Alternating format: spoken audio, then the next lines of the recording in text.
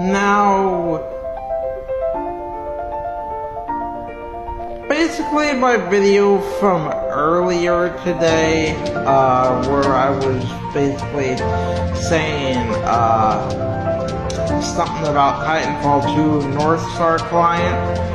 Actually, VAC anti-cheat is actually a really good anti-cheat software. Looked it up on the internet. It is actually really, really good.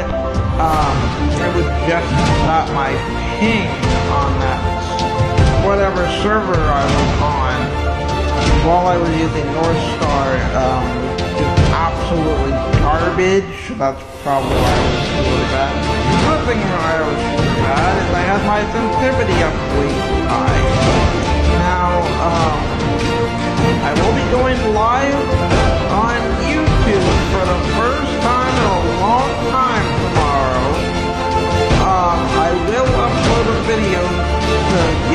Schedule.